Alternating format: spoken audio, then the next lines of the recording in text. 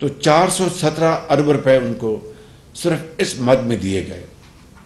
सवाल ये पैदा होता है कि ये आइटम, ये सिर्फ़ और सिर्फ़ मुख्त थी उनकी जो काउंटर टेररिज्म कैपेसिटीज को कैपेबिलिटीज को बिल्ड करने के लिए। चाहे वो सीटीडी है, चाहे वो सामान खरीदना चाहे वो बुलेट प्रूफ उनकी जो हैं वो ए हैं चाहे वो एमोनेशन है चाहे वो ट्रेनिंग है चाहे वो नई नए को तैयार करना है। हर लिहाज से चाहे वो इंटेलिजेंस का इदारा का आ, उसको क्या में लाना है चाहे पूरे के पी के के जो अजला हैं वहाँ पर उनके जो सेटेलाइट्स वो बनानी है। यानी ये सारा पैसा उसके लिए था।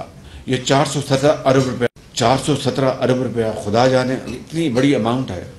ये कहाँ गई है?